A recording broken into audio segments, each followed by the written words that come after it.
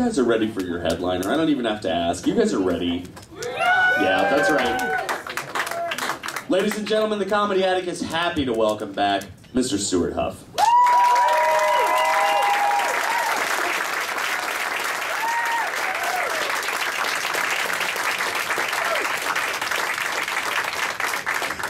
Hello, everybody. How are you? Yeah, you guys good? Big round of uh, Bob right there. Funny dude, Bob. Yeah. I like Bob. He's like a horny Winnie the Pooh, isn't he? you guys liked him, but you didn't really trust him, you know? And Dave, I think Dave's hilarious. He's fucking weird as shit, isn't he? I love it. I just love it when a person comes up here and makes their private thoughts public, you know what I mean? I just love watching that. All right, I'm so glad you guys are here. This is the only club that I work that uh, that uh, this is possible. Actually, to record a CD. Most of the places I work boo me off stage and throw shit at me, and, and I come to Bloomington like, yay! You know? Yeah. Most of the time, I've done every Moose Lodge in Indiana. Been two years doing all the Moose Lodges, preparing for this shit right here. So, thank you guys so much uh, from me to you for being here. What we're going to do tonight, the show you and I are going to do tonight, is either the most depressing comedy show ever written or the funniest TED Talk. I'm not sure which one, but we'll discuss after the show. I've been doing comedy for 20 years, and I have proven beyond a shadow of a doubt that you can put a square peg in a round hole. Yeah, it's just going to fuck up the peg.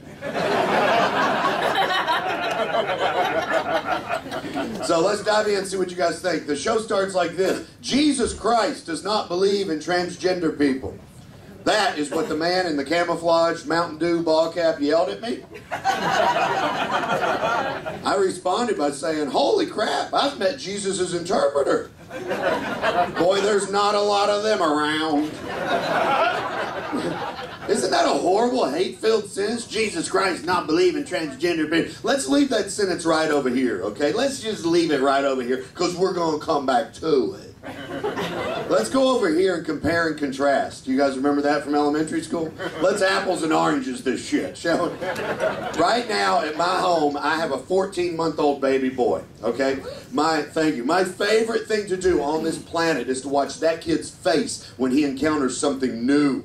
It's amazing. He's so fucking excited about this world. Those of you with kids know he lights up about every tiny little detail and he points. He points at shit, looks at me like, Are you saying this shit?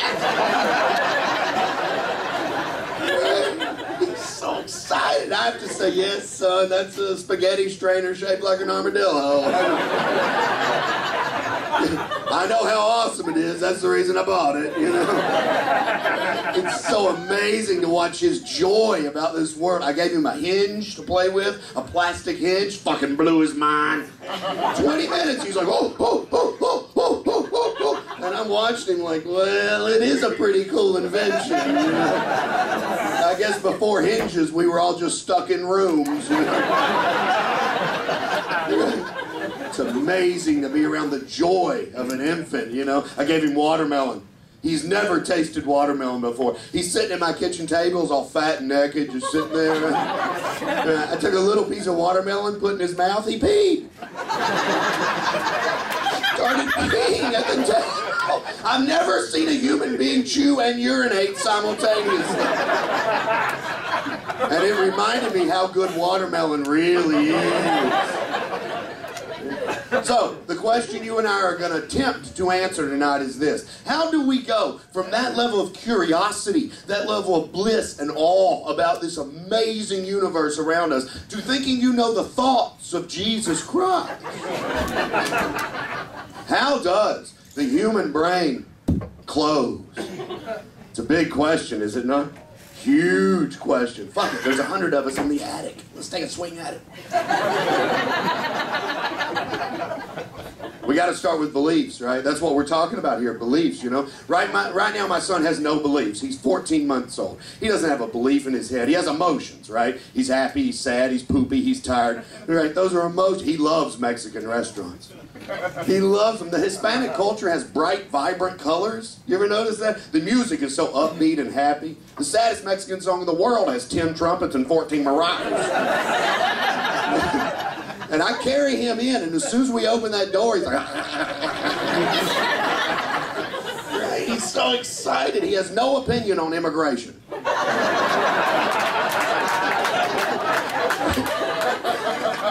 Doesn't have an opinion on immigration.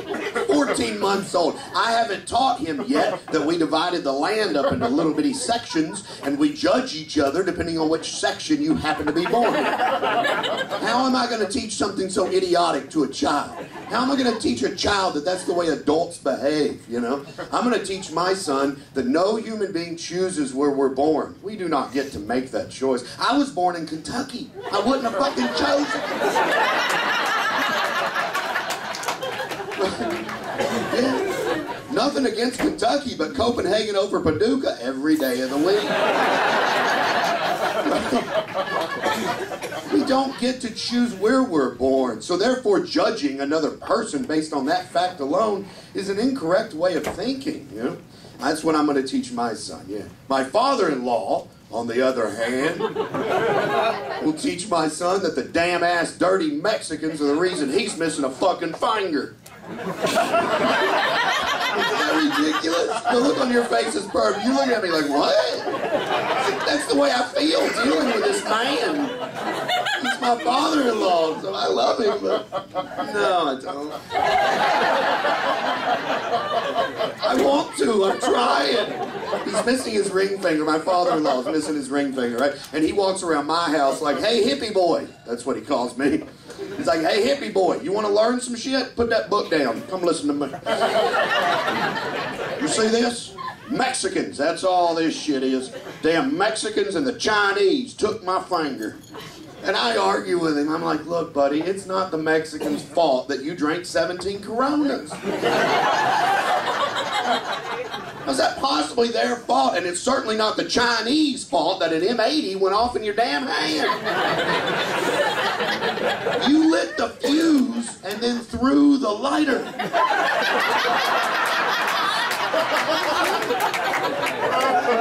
How is that their fault? That's what he believes in his heart. And no words out of this hippie mouth are going to make him change his mind. Boy, once a human being really gets a hold of a belief, it will take forever and a free t-shirt to get us to change our damn mind. We do not like to let go of beliefs, you know. I met a woman in Ocala, Florida, who believes Mary Magdalene appeared to her in a pork chop.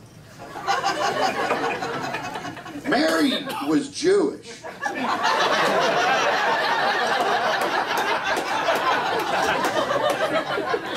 I think what you got there is a non-kosher apparition.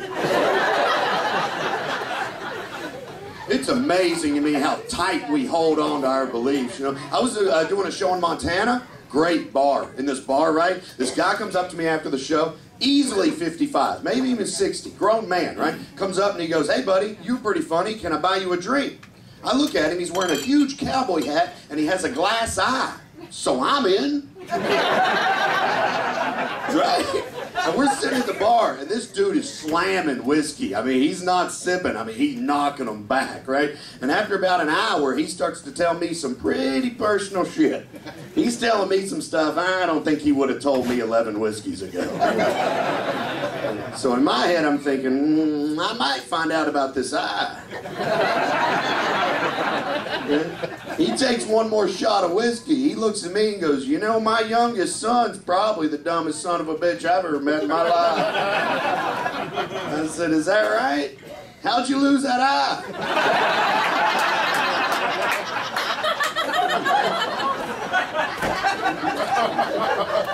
He goes, Oh shit, that's a good story. He goes, I was driving along in my pickup truck, hit a patch of ice. Damn truck flipped three times. My lucky horseshoe came off my rear view, poked my damn eye.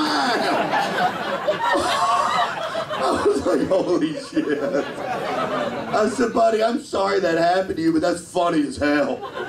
Your lucky horseshoe poked your eye out. I said, I guess it's no longer your lucky horseshoe. Right? He looks at me and goes, What? Of course it's still my lucky horseshoe. Who knows what would have happened if it wouldn't have been there?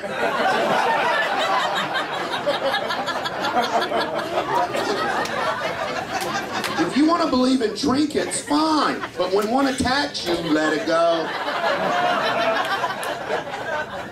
Incredible, is it not, how tight we hold on? Huh? Evidence does not change a closed mind. It just pisses it off. That's a Bloomington sentence right there. Yeah, a nice Bloomington sentence. I was on a plane. This is my least favorite plane trip I've ever taken. I'm flying from Atlanta to Boston. All right, gentleman sitting next to me is reading the paper, right? A real paper, right? Contrary to what Bob believes, people still read it. So he's reading the paper. I look at the headline. It says Texas flooding, global warming, question mark. Right? This dude goes, "Hey, look at this bullshit.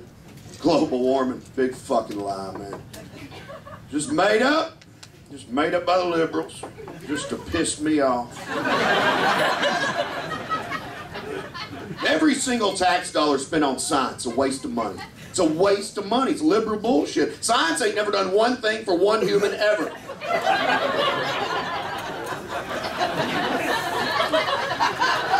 I'm thinking, we're on a plane.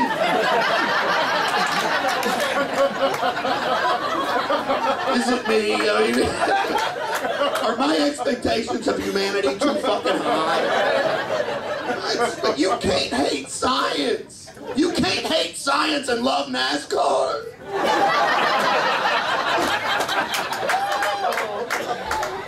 Right? NASCAR without science is called running.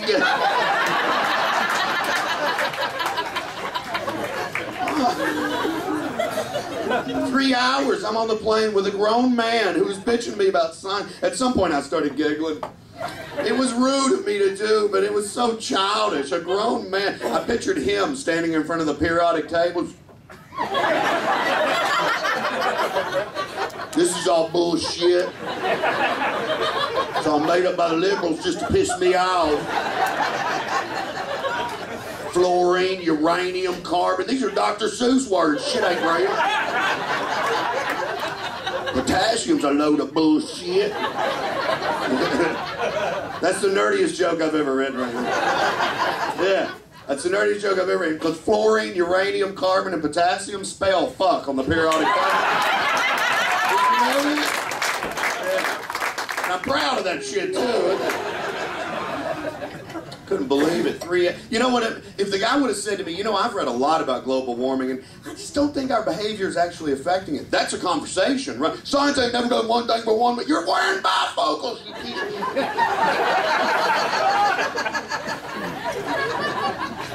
It's irritating dealing with a closed mind, is it not? God, hating science is like yelling at a plant. How funny would it be to see a grown person yell at a fuck you, ficus? Are you photosynthesizing right now, you piece of shit? You better not be turning sunlight into sugars. I'm gonna tear you an asshole.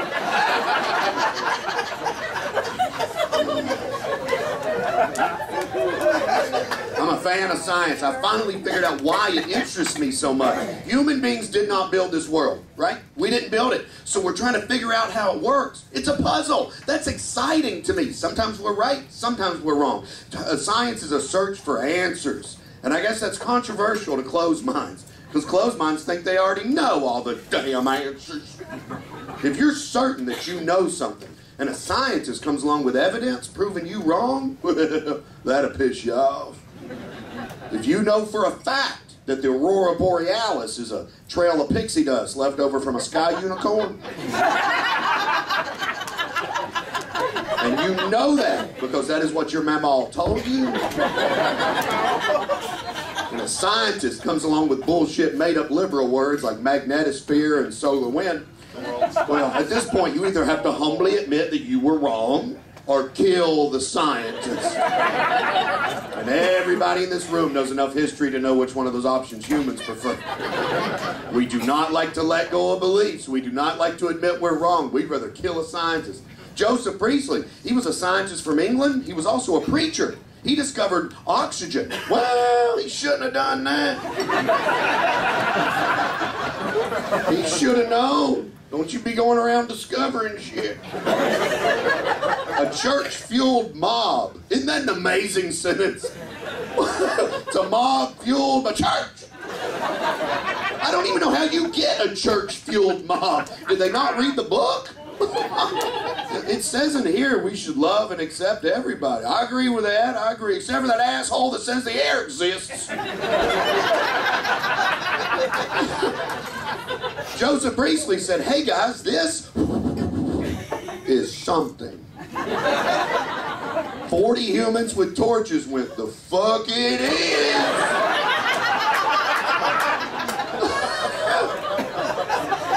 they went to kill the dude. He heard them coming. It's a big mob of people, right? And he ran out his back door. They were so mad they burnt his laboratory to the ground. Then they went to his home and burnt his home to the ground, which is hilarious because for a fire, you need.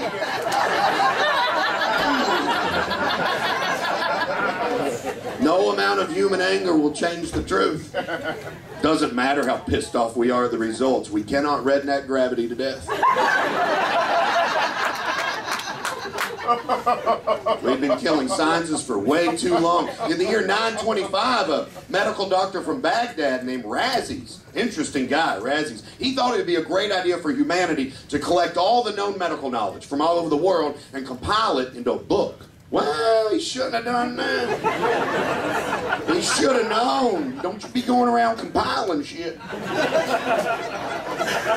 I'm gonna stand like this till all you fucks laugh. That's funny as shit. I'm not letting you get away with not laughing at that. Don't you be going around compiling shit. That's funny as hell. Oscar Wilde said, if you're gonna tell people the truth, you better make them laugh, or they'll kill you.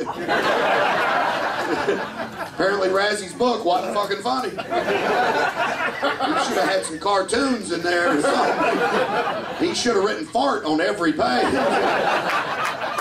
A court of law convicted him of heresy and ordered him beaten with his own book. Yeah, you didn't laugh at that, you ain't got no dark comedy in you. He got beat with his own damn book. God, I hope he had a chapter in there on book wounds.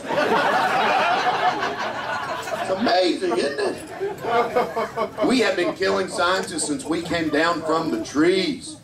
It would not shock me to learn that is the reason we came down from it. There was a scientist on the ground. Look at that asshole. Trying to figure shit out. Damn petri dish.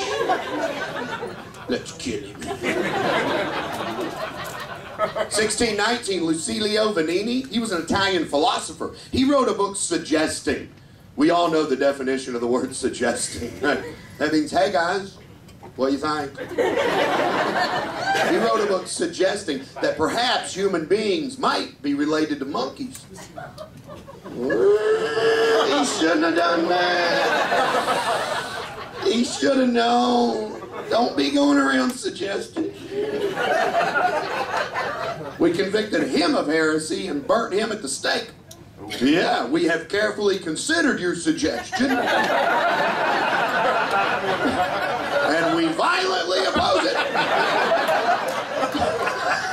Oh, phenomenal. We burn a dude at the stake for making a suggestion in a book. That is extremely monkey-like behavior.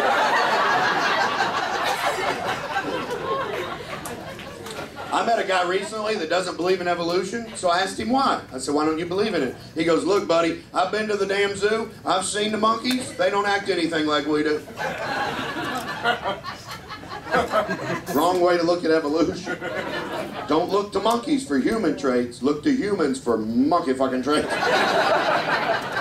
It's a lot easier to see that way, right? Do construction on the interstate. Bring three lanes down to two. You watch the fucking monkeys. Am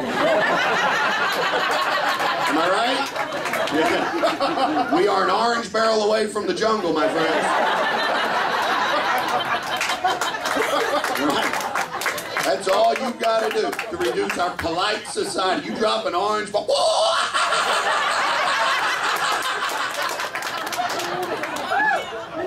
fucking scratch off tickets and funyuns are floating in the air.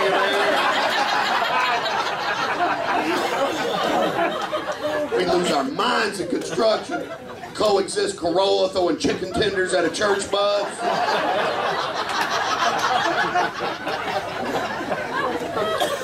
It's the only way this civilization makes sense to me if we're monkeys. Otherwise, I am severely depressed. You know? Last year, over a hundred human beings injured themselves trying to shoot fireworks out of their ass. over a hundred. If we're monkeys, that's not too bad. I'm proud of us if we're monkeys. If we're made in God's image, I'm fucking scared. That is a scary concept to me. If there are gates and I walk through them and hear, light me up, Moses. Fuck those rednecks.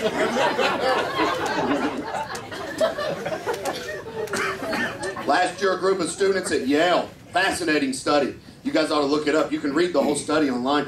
Uh, a group of students at Yale did a study. They taught monkeys how to use money, all right? They taught them our system of money, right? They had monkeys, they gave each one a stack of coins. They had grapes. They taught the monkeys, if you want a grape, you have to buy it with a coin. First thing that happened, one of the monkeys stole all the fucking money.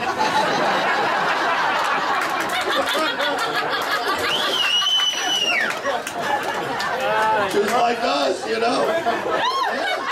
Yeah, 99% were pissed. you put a hundred monkeys in a room with a hundred typewriters, eventually they'll write Shakespeare. It's the wrong way to look at evolution, I think. You put a hundred humans in a room, eventually we'll all start masturbating and throwing our poop. As soon as that cell phone battery dies. I need something to play with. The state of Alabama started teaching evolution in their public schools this year. I know, I don't know what to say to that. I'm proud of you. Evolution is slow. States of Tennessee and uh, Louisiana both have laws on the books opting out of teaching evolution. Don't you love the English language? We opt out. You guys go ahead. We're going to be back here. Just thinking about mermaids. I don't understand how you opt out of educating your children. We're going to be back here just ignoring all the information. That's the closed mind's favorite hobby, ignoring information. That's their favorite thing to do. Have you read this? Fuck no. La, la, la, la, la, la. Once your mind is closed, you can't allow anything new in there. It might challenge something you already believe, and then fuck, I had to pull my knife out. That's when shit went wrong. I want all the information. I want it all, right? I like everything from every little angle. I want all the information. I'm a curious human being, you know. Anti-abortionists like to point out that at week five in the womb, a fetus has a heartbeat. I looked it up. That's absolutely, it develops a heartbeat at week five, right? But they never seem to mention at week five it also has a tail. Why don't they put that on the billboard? Some babies are born with tails. I didn't know that, and they're not tiny either. I mean, it's a pretty good size. You, know, you could smack a rat with it. You know? I'm obsessed with our education system, right? Or lack of, in my opinion. My wife is a teacher. She's a Montessori school teacher, you know. She gets at least one email every seven to ten days, something like that. Parents are extremely worried about what she's teaching in history class. They don't want her to teach anything horrific. Well, fuck, let's just cancel class. Have you guys read history? Holy cat dicks. How are we going to teach what happened in the past without being horrific? That's nearly impossible to do. You know? Are we going to teach kids the truth about Thanksgiving? Genocide is a touchy subject. You know, fuck it. Let's just make some hand turkeys. You know? It's amazing how much we lie in history class. Phenomenal. We made up the lie that George Washington cannot tell a lie to teach kids not to fucking lie. what the hell is wrong with us? That's insane behavior, you know? Texas right now is trying to change the word slaves in their history books to the word workers. Slaves to workers. Why don't we just change the word history to the word bullshit?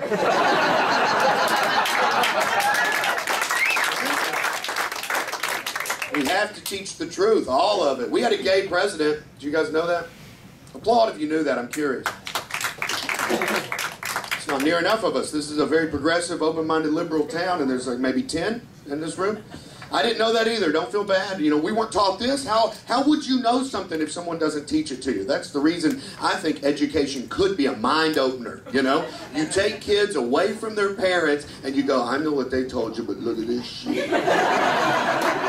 Right? Right now, school systems are obsessed with not offending parents. My opinion, with no punchline, if you do, if you're obsessed with not offending parents, you ain't got an education system. What you got is a babysitting service. That's all you got.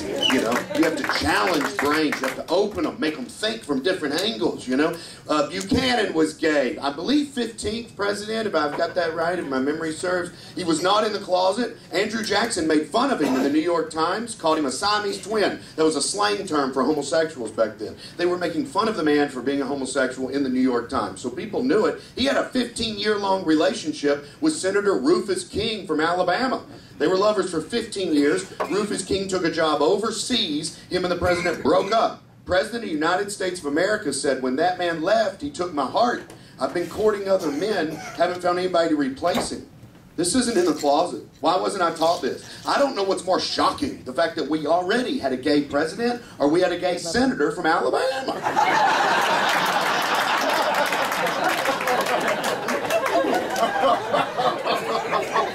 We need to teach the truth, you know, all of it. I think we should all know that the White House was built by slaves. Slaves built the building, right? And then we turned around and named it the White House. I mean, that's a dick move.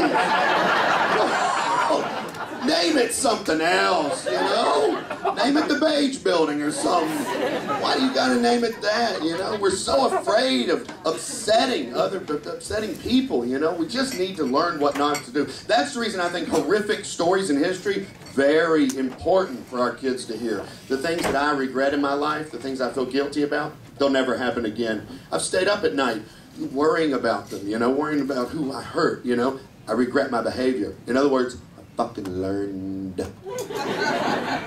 Horrific stories tell us what not to do, you know? Yes, I think we should all know Mount Rushmore was carved by a Klan member. Klan member carved the mountain, you know? I think Mount Rushmore might be one of the biggest dick moves in U.S. history. It's a, when you know the history of it, it's a dick move. 1868, uh, the U.S. government gave the Black Hills of South Dakota to the Sioux Indian Nation in perpetuity. That means forever. I had to look it up. you don't see that word a lot. Perpetuity, right? I looked it up. It means forever. So we gave them the land forever. 1868. 1871, gold was discovered in the Black Hills. So if you ever wondered how long forever is, about three years. We went on their land, stole their gold, and then carved four enormous white presidents' heads to stare at their ass. That's a dick move. Why not put it in Colorado? There are other mountains. How about Washington State? You know, we could have done it. I mean, when you look at the U.S. American history now, when the pipeline, right? My God, Walmart has built nine super centers on top of uh, Native American burial grounds. Nine. They're having to roll back on dignity. they are slashing morals at Walmart. And boy, when you look at the history of the Indians and the, the U.S., uh, one thing's for clear, dream catchers don't work. If you ooh that, fuck you. I'll fight you on that joke. I will fight you on that punchline. It's not my best one, but it ain't my worst. I think horrific stories should be told. 1640, Uriel da Costa, very religious man, Uriel da Costa. He spent his entire life trying to find a church that he agreed with. He was a persnickety bastard, I'll give him that. He didn't quit. He said, I don't want to just go to church and feel good about myself. I want to feel church in my heart, right? And he didn't just go around his city. He went to five different countries in 16 fucking 40. Can you imagine getting on a ship, sailing for three months, walking into a church like, nope.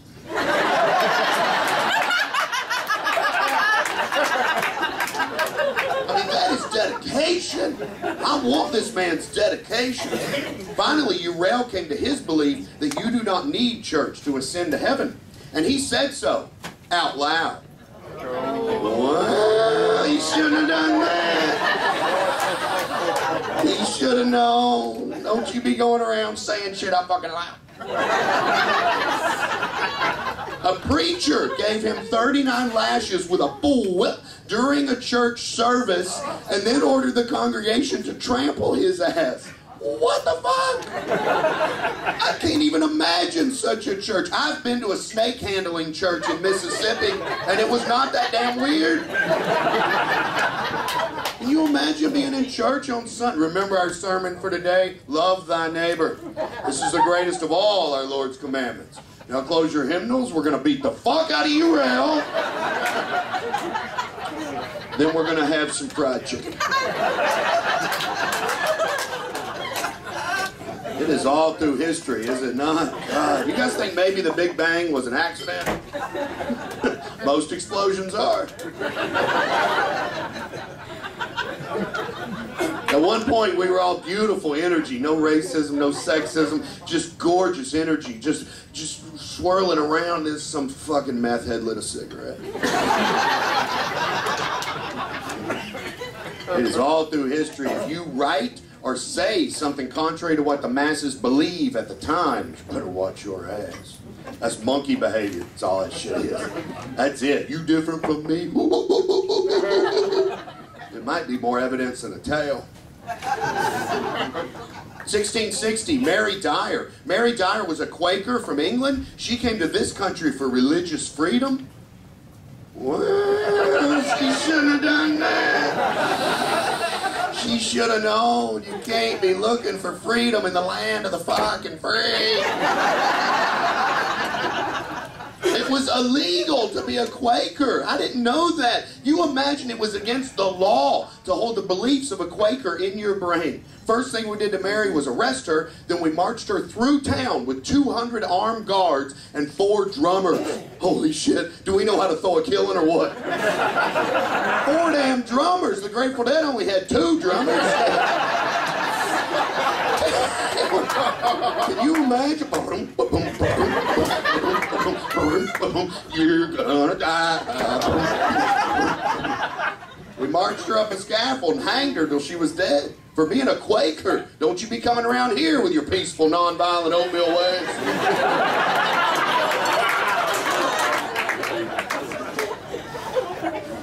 Buckle up. This is the worst one, man. Buckle up. We're coming into That's the problem with this show in front of my group of people. You guys are my group of people. You know, is you guys are offended by the different stuff than the crowds I'm usually in front of. Doing the evolution jokes, every one of you are like, yeah, hell yeah. You know, and then when I talk about what we've done to other people, you're like, that's so mean. And I feel guilty. I do. Like I look at her face, I'm like, why am I doing this to her? She doesn't need to hear this shit. She already knows this. I should be doing this in Martinsville. You know?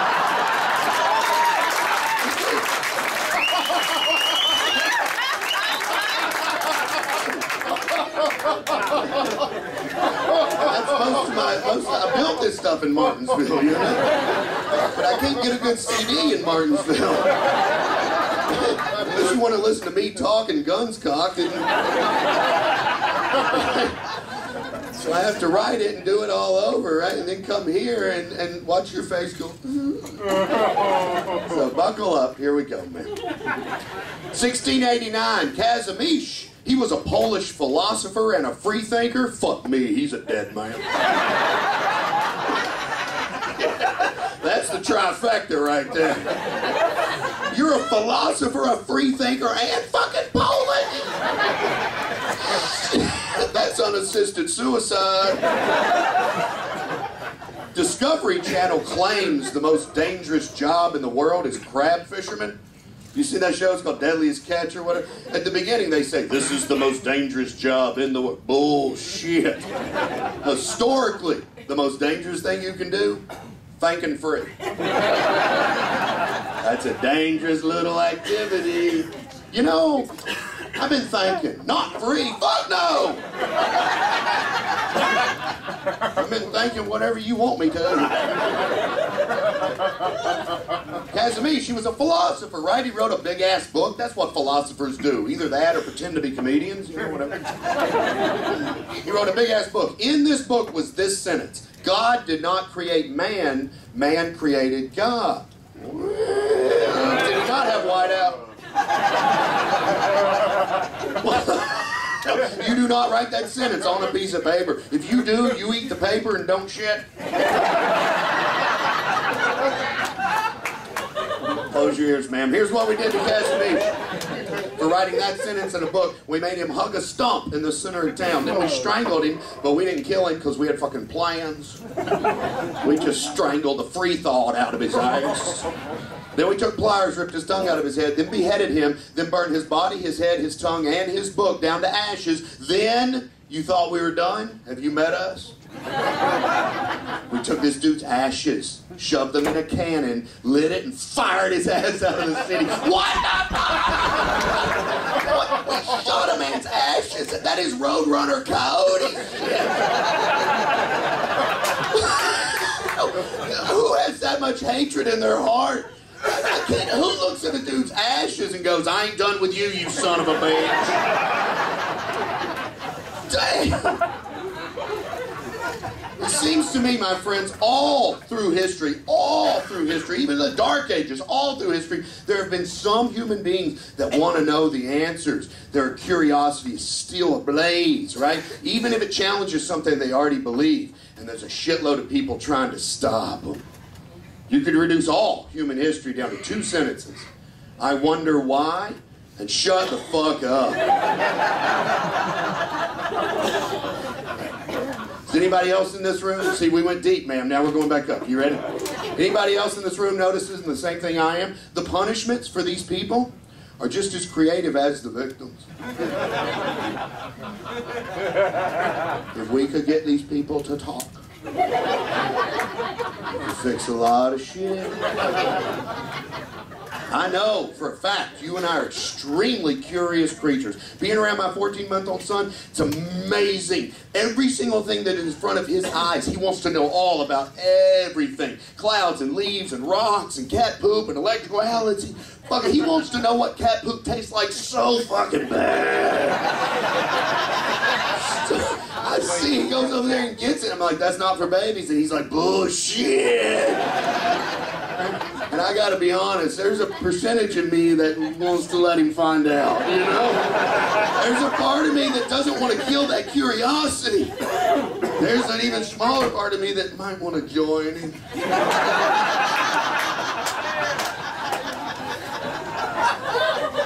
If you can make it to an adult and still have your curiosity in you, you've done good. You've done real good. You've avoided people telling you what the truth is your entire life. And you've challenged yourself and you've kept an open mind, right? I believe if two human beings could sit across the table from one another and disagree with what that person believes without wanting to rip their liver out I believe we can argue, come to a consensus, and try different solution to fix problems, you know? I know it's a hippie message. I know my father-in-law's not that far wrong. You don't remember that shit? I know it's a hippie message, and I also know 1968 ended badly, but fuck, I want to do it again.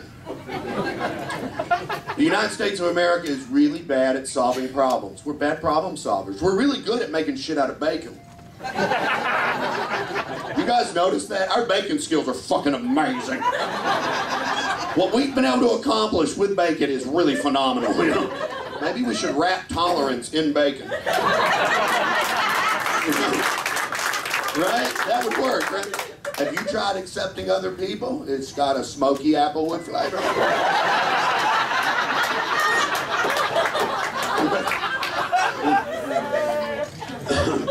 We seem to identify one thing we don't like, right? Problem solving. We identify something we don't like. We try a solution to fix it. If that solution doesn't fix it, we just keep fucking doing it. You guys ever notice that? You notice how dumb that is, right? Do the same solution. Failed, failed, failed, try it again, failed, try it again, failed, fuck it, try it again, failed, fuck it, try it again, failed. Over and over and over. Sometimes for 200 years we've had the same solution, it's never worked, and we still do it. That's Einstein's definition of insanity, right? That's Einstein's definition of insanity. We're going to put more fence across Mexico this year, right? That's the plan. Here's my thing. Let's look at it this way. Fences don't stop human beings. I'm from Kentucky. They have never fucking stopped me. Ever. I've gone under them, through them, and over them. When I was 16, my girlfriend called me and said, Oh, I would love it if you come over here and sneak into my window tonight, but we have a fence and a dog. She said some other shit, but I'd already hung up.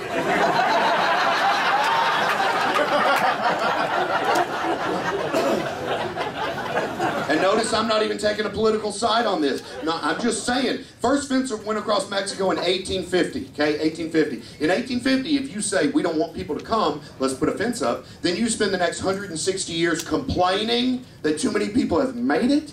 So then you go, let's put a fence up. What the fuck is your problem? That's ridiculous. There's other solutions to fix problems, you know? I don't want you working on my car. I don't know if anybody else in this room feels the same way I do about this, but I'm shocked that drugs are still illegal. I'm just shocked. It's a failed solution. You know how many illegal drugs are available for sale in Bloomington tonight? Fucking all of them. Right? Let's look at it common sense. We're not allowed to have them, and we can all get them now. I don't think it's working. I can prove to you making drugs illegal is not the solution to the drug problem. You can purchase drugs in prison. It's hard to even say that without laughing. The place we send you for buying them, they're fucking for sale. It's phenomenal. It's incredible. You know, it's a giant failed solution. And I'm not advocating drug use. I think I separate drugs into, you know, marijuana and hallucinogens and then hard drugs. I think hard drugs are hurting us bad, you know, I do. Yeah, and I don't do any drugs at all. That's the truth. You know, illegal. Right. I eat a shitload of Oreos. yeah, especially the fudge covered ones. We're not the only creature that does drugs. That's funny as hell to me. It's so funny to me. I've been Googling it lately. Ants get high. Did you know that? Ants get high. There's a beetle, right? Some, I forget the name of the beetle. It's some little beetle, and when it's uh, about to give birth, it secretes a liquid, right? Ants get high. They find this beetle and take care of her. they, they do. They take care of her. They bring her all everything she needs until she secretes the liquid, and then they.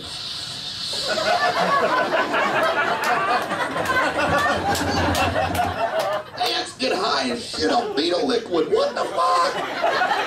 It's weird as hell, right? Pigeons get high, crows get high, dolphins get high. The funniest one I've found so far, Siberia. There's a hallucinogenic mushroom that grows in Siberia. It's poisonous to human beings. We cannot do it, but reindeer can, and they fucking love it. Reindeer eat this mushroom and trip. Can you imagine tripping with antlers? I'd just lean against a dryer, you know. Reindeer are now tripping from eating this mushroom, right? Their body filters out the toxins, so now humans can't ingest it. So reindeer herders walk around with an empty cup. And when the and when the reindeer pisses, they get reindeer piss and drink it and fucking trip balls. then, some of you guys are not going to believe me. I want you to look it up. I want you to not believe me. I want you to challenge me and Google it and go, fuck, he's right. The herders are now tripping from drinking reindeer urine. When the herders urinate, the reindeer eat the yellow snow and fucking trip again. That's absolutely true. It's one big, huge human ecosystem psychedelic reindeer piss trip. And all of a sudden, Christmas makes sense.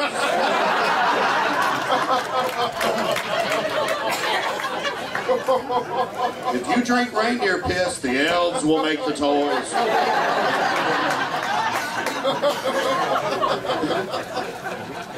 If we're if we're willing to drink reindeer urine to get high, you think threatening us with jail time's gonna stop us?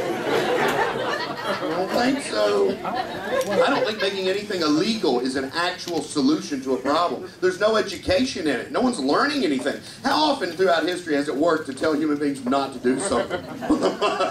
Never. If you tell us not to do it, we're like, turn around. That's the way we are, right?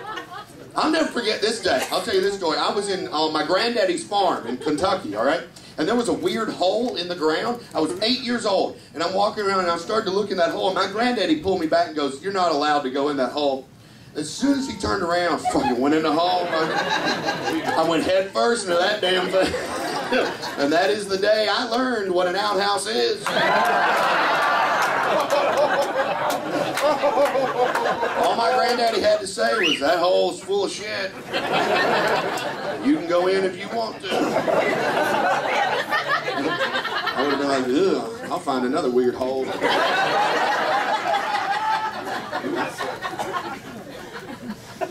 Human beings. Hindsight's only 2020 if you've learned something since you fucked up, you know. I've always hated that phrase, hindsight's 2020. Not if you're still an idiot. if you screw up and then do the same thing again, it, your eyesight's not getting better. what does it matter how good it is if your head's up your ass? it's all dark in there. Human beings, man. When you when you look at our repetitive behavior, you know, we'll fight maggots for a rotten idea. Think, how many people do you think laughed at that line? Eight or nine? That might be the record. I love that line so much. Human beings are fight maggots for a rotten idea. I still remember the Red Roof Inn I was in when I wrote it. I've been doing comedy 20 years. I rarely laugh out loud when I write something. I usually write it and go, nah, that's not proving my point, or oh, that right there is good, you know, or whatever. But when I wrote Human Beings Will Fight Maggots, I went, It's gorgeous, fucked up Edgar Allan Poe dark poetry to me. And it illustrates our point. There's an idea that's so rotten, maggots are starting to eat it. And humans are like, get away, that's ours, we're gonna do it again. I do. I remember the Red Roof Inn I was in because I moved the bed. I did. That's the way I write. I have to walk. A lot of my friends literally will sit at a computer for hours and just, I can't, I don't understand how people can do that. I have to move. I have to get my brain working and I talk out loud, you know? So in hotel rooms, I, I will move beds if it's a small hotel room and fold up the, the, the, you know, the thing, whatever you call it, the thing underneath it, you know, the frame, right? The bed frame. I've done that too and just created a space for me to walk, you know? I don't know why I'm telling you guys this. and I'll walk, and I don't even try to be funny. I literally, I'm walking around in circles like, I, I don't know why she wants a rabbit. It's a weird pet. It's always been weird. I don't know. I never really, ever wanted, I want to get a rabbit. But I love her, so I guess we'll get a rabbit. I hope we name it Ted Bunny.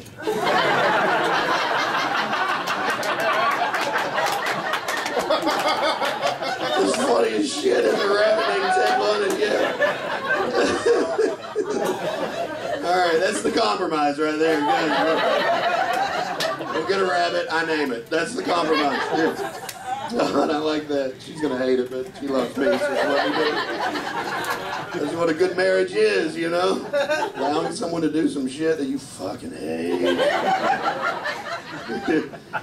Uh, all right, back to comedy. Let's see. I wonder if the crowd is realizing that these deaths are going in chronological order. Probably not. you make twelve thousand a year. What does it matter what they realize? At this point, you do it for yourself. So write it the way it should be. You, probably figure out a creative way of letting them know.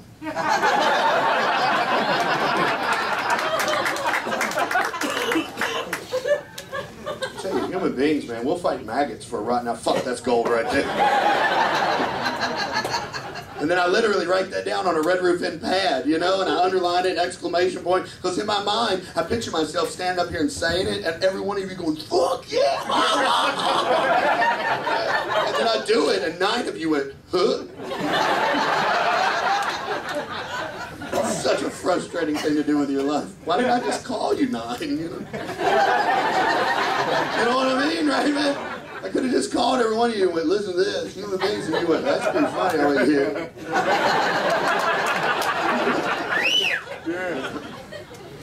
Back to the show. I'm tired of repeating the same thing, same result. We do it again. 1865, Ignaz Semmelweis, medical doctor from Vienna, first human being to figure out that if doctors would start washing their hands in between delivering babies, it was not common practice to, to wash your hands in between delivering babies, and the death rate for mothers was extremely high.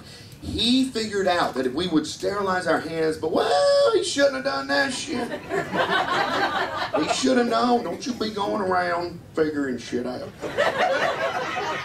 First thing we did to Ignaz was fire him. We removed his medical license. He's no longer allowed to practice medicine. Then we committed him to an insane asylum. Is anybody in the room still listening to me? That's a little bit of a fucking leap. I don't understand how you go from point A to what the fuck? I don't understand. Hey guys, look at my test here. We should wash our hands. Fuck you, fire crazy.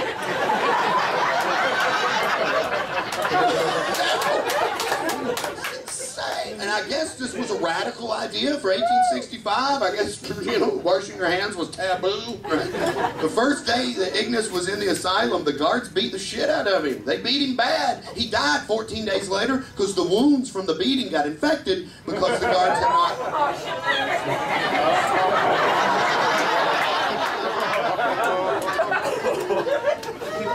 Human beings are more scared of being wrong than we are interested in being right.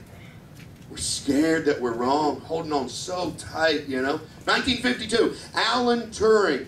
If you're in this room and you do not know who Alan Turing is, look it up. He will fascinate you. He's one of the human beings that led us to this, right? A lot of people, my generation and older, complain about this a lot. I agree with some of their complaints, but this is a mind opener. You can learn anything you want to know. We do not have to go far back in history to even if you cared about your intelligence, you had no access to books. Any weird fucking thing you want. I'm not the only human being that sits on the toilet and Googles weird shit. Right? Anything pops in your little head, you're like, did John Adams wear a girdle? Be honest. Right?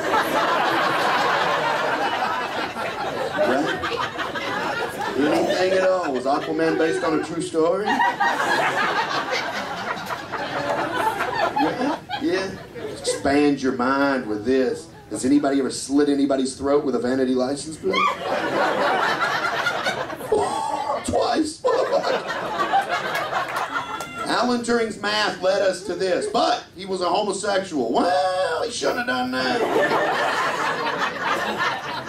He should have known. Don't you be going around being who you are. He broke the Enigma code. Nazi Germany had a machine called Enigma. They were sending coded messages to submarines and Nazi ships and everything. Everybody was trying to break the code. Canada, we had a team trying to break it. Alan Turing and his mathematicians broke the code. Historians say Alan Turing shortened World War II by two full years. He literally saved millions of men's lives. But he thought some of them were pretty fucking sexy. Too much for the closed mind. 2013. You feel that? I love that moment. Yeah. Everybody just immediately was like, oh, it's heavy. It's a heavy moment. 2013, right? I've already told you they're going in chronological order, right? It's a heavy moment. We're, we're emotionally connected to 2013. It makes us feel weird. Like 925, Rhazes, the guy that got beat with his own book, we're not emotionally connected to those people, right? Those people were dumber than shit. I mean, they're dumber than hell. They didn't even have leaf blowers. 2013 makes us feel all weird inside, right? We'll run through it quick because it's important and unfunny. Here we go. Dr. Narendra Dakar. I think I'm pronouncing that correctly. I'm from Kentucky, so every foreign name I try to pronounce sounds like Ricky Jr. I'm so bad at foreign names, especially French names. Fuck, I'm just like Pierre or I don't know. Dr. Narendra Dakar, okay? Uh, India still has a problem with superstition in the rural sections of India, but let's be honest, in the rural sections of Indiana, same fucking deal. Yeah. One of the problems they, that Narendra bug it bugged Narendra, bothered him. Poor people, I'm putting that in quotes. Poor people would have a legitimate medical issue, and instead of going to a legitimate medical doctor, they would go to a spiritual healer. And the healer would tell them as well, I'm sorry to have to tell you this, but you're possessed by Satan. We just got the test back. And if you give me $50, I'll remove Satan from your body. And then these poor people would give them their money. And they couldn't afford that. It's expensive to remove Satan.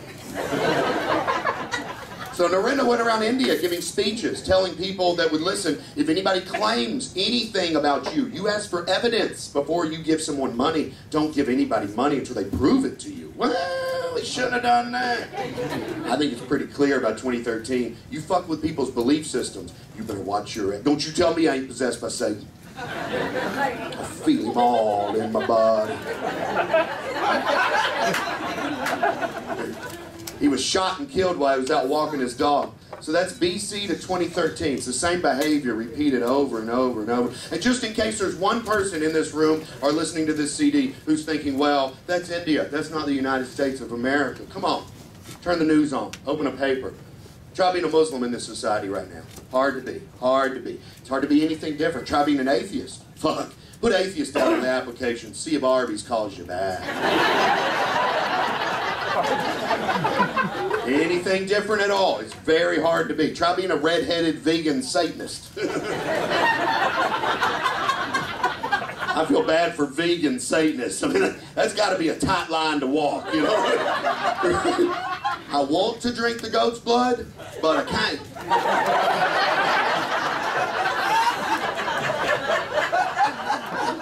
I'm conflicted, but with you.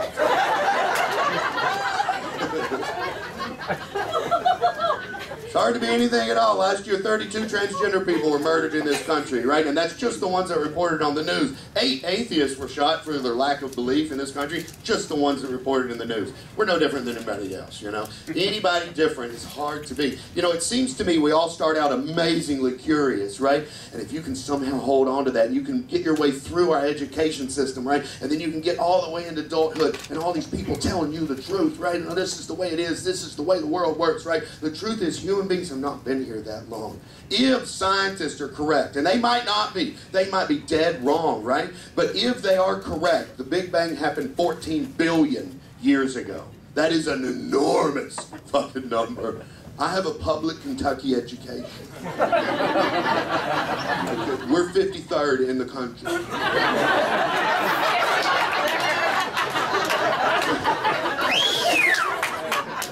Let's break 14 billion down, right? Let's make it palatable to this sponge. 14 billion is roughly a shitload of millions.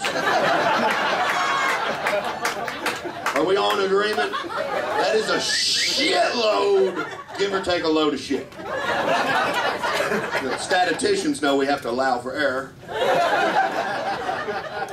If scientists are correct, modern humans, you and I, we appeared on this earth about 200,000 years ago. So written history, as we know it, 5,000 years old. We've only been jotting shit down for 5,000 years. And we've only been using facts to describe our surroundings since August. And all of a sudden, we're all walking around like, I know the answers. I fucking doubt it. We just got here. We just fucking got here. Every time we go into space, look at how much we learn. Every time we go into the ocean, we discover new species of sharks in the ocean. Every time we go into the Amazon jungle, every time we go into a Waffle House bathroom, look at how much we fucking learn. Every time I go in there, I'm like, Doug's a dick. I didn't know that.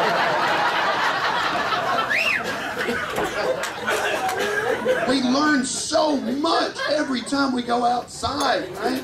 We're still in the phase of collecting information.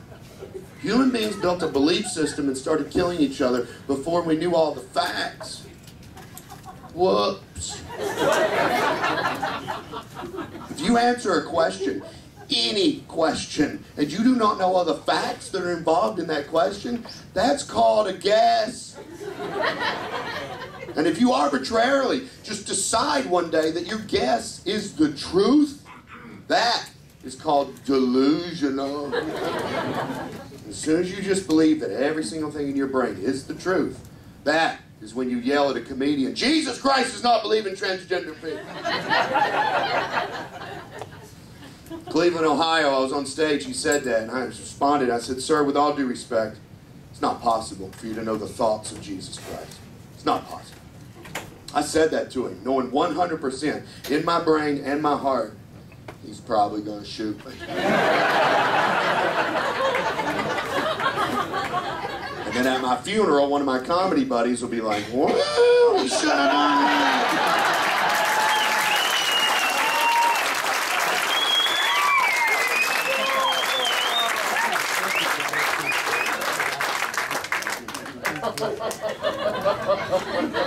I love. Uh, look, my friends, if you guys came in here tonight and thought, oh, I've been at work all day. I'm so exhausted. I hope he just talks about his whiner.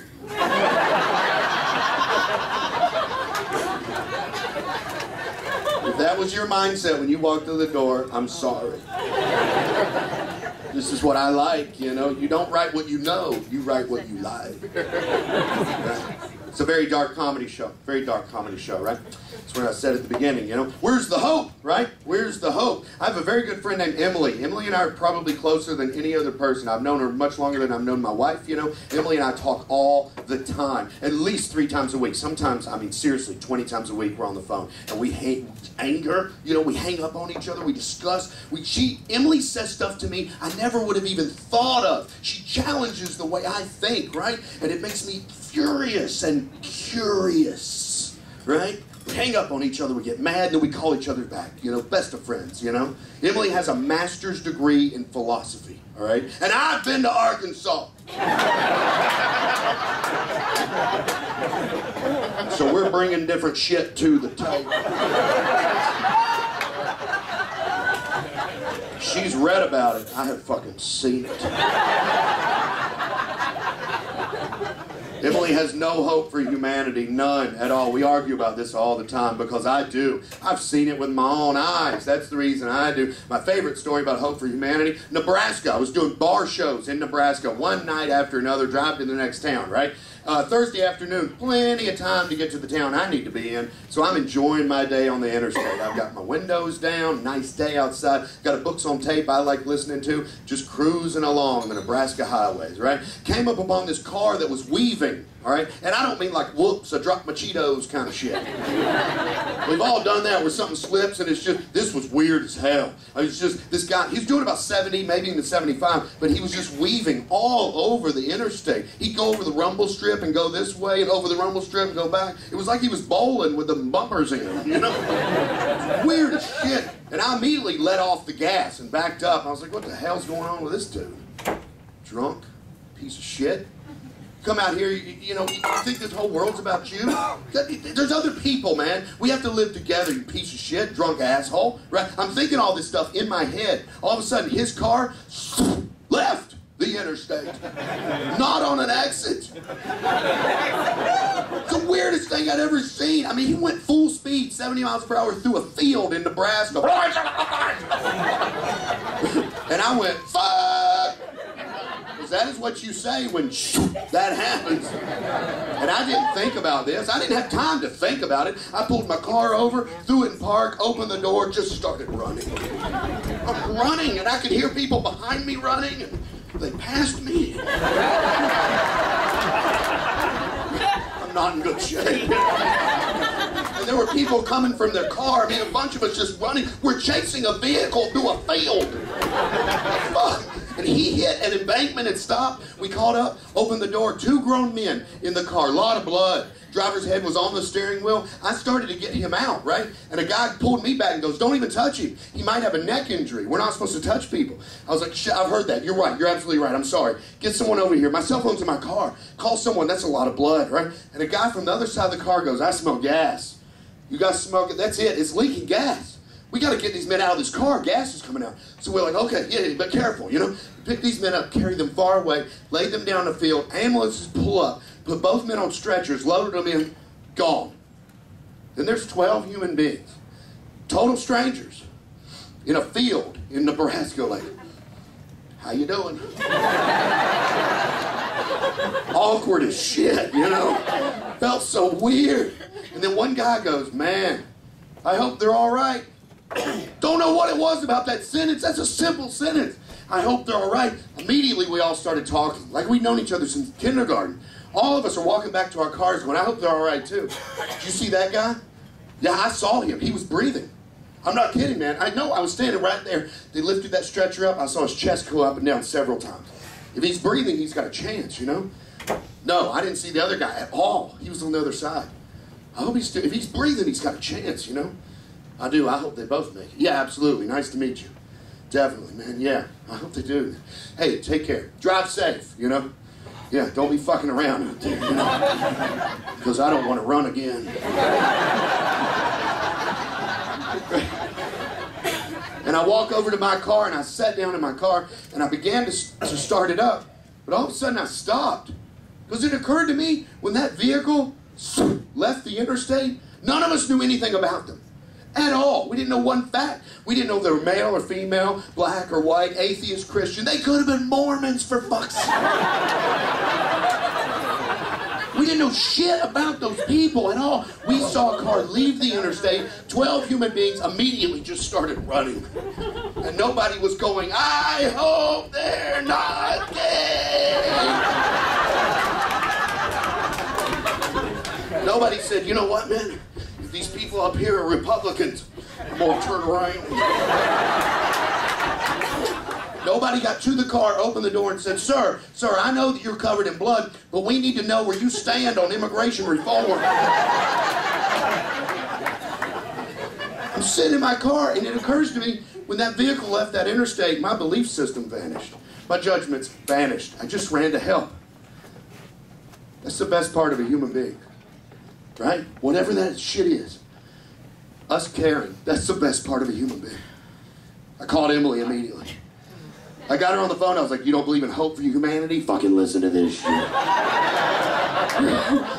I told her the whole story. I was like, I was like, you drunk piece of shit. How do I know if he was drunk? He might have had a heart attack. What the fuck do I know? And the next thing you know, I'm running, and you know how much I fucking hate that shit. I told her the entire story. At the end of it, she goes, damn. Those two men had guardian angels watching over them. And I deleted her from Facebook.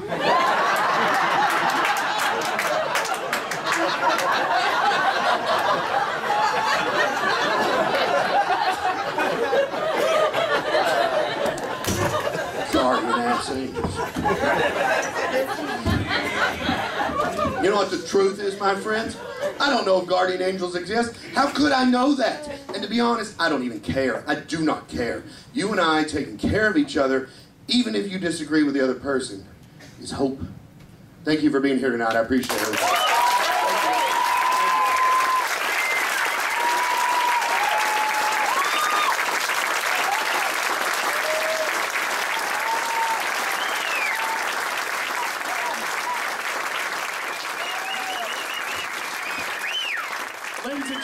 Stewart!